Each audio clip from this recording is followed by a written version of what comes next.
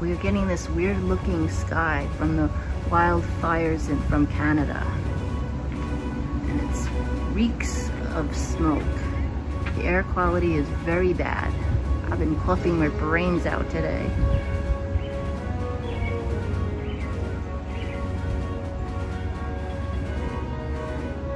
It smells like brimstone.